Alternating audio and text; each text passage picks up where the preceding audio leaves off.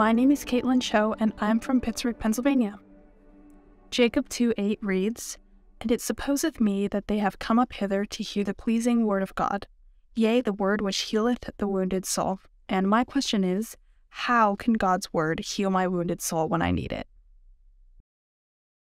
There's all kinds of statistics about just kind of an epidemic of, of loneliness, of mm-hmm. anxiety, of depression, even of suicidality among lots of people, but especially young people right. today.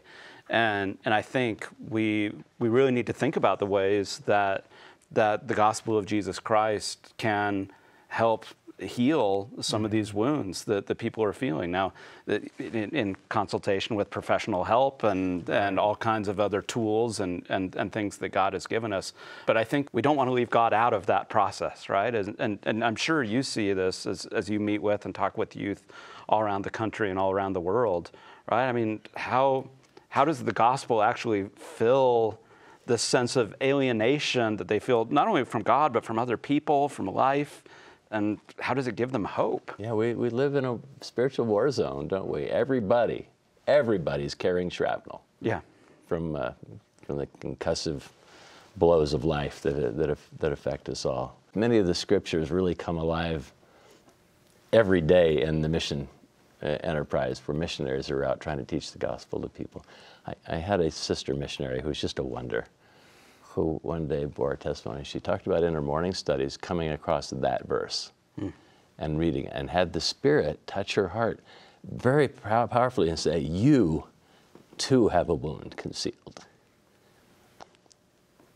You know, your heart's wounded. And you're here teaching other people about the atonement. We, we've got some business to take care of. And so she started struggling with that, you know, kind of working through that process and what does that mean? And it was issues involving her family and deep seated things that she was just muscling through. Later that afternoon, they're out knocking on doors and they get into a house. And they get into a house, and the woman says, I don't believe in God, I can't believe in God. And started to lay out the horrors of her life, just the challenging, difficult things, the ways that she had been misused by other people and and for this reason, she was distanced from God and wasn't sure she could even believe in Him. And my missionary opens to this verse